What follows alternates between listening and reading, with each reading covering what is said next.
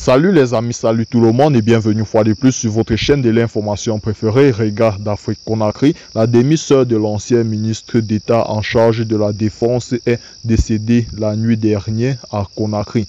Sanassa Djane, intimement liée à Mohamed Djane pour qui elle représentait tout, a rendu l'âme suite à une maladie. Selon nos informations, l'ancien ministre en charge des activités présidentielles serait très affecté à la maison centrale de Coronti où il est placé en détention préventive depuis le 6 avril 2022 pour des faits présumés de détournement de deniers publics. Nos sources indiquent que l'avocat de Mohamed Djane, Sidiki Berete, pourrait introduire dans les prochaines heures une demande de mise en liberté afin de permettre à l'ancien gardien du temple sous la présidence d'Alpha Condé de participer aux obsèques de sa défunte sœur. Eh bien les amis, c'est ici que prend fin notre petit bulletin d'information. Si vous êtes nouveau à la chaîne, n'hésitez pas à vous abonner pour ne plus manquer nos prochaines vidéos.